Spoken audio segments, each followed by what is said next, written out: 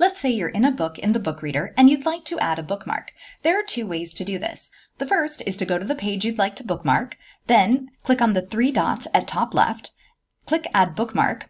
You can even add a note, then click Save. You've added your bookmark. The second way is to go to the page you'd like to bookmark, hover to the top until you see an icon appear, then left click to Add Bookmark. You can still add a note, and then click Save. You've added your bookmark.